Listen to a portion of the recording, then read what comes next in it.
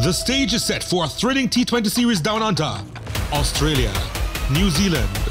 The first of three T20s begins September 19, 4:10 a.m. Jamaica time, 5:10 a.m. ECT on Sportsmax 2 and Sportsmax Cricket on the app.